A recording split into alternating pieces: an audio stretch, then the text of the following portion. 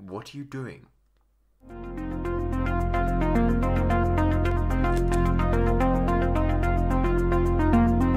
Laing was satisfied with life at college.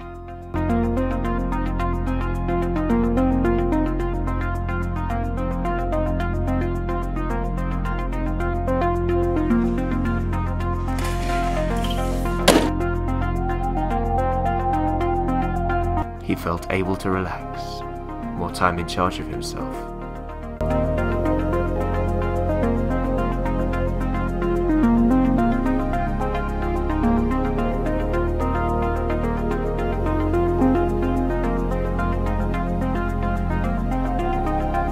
One thing was certain. Laing would surrender to a logic more powerful than reason.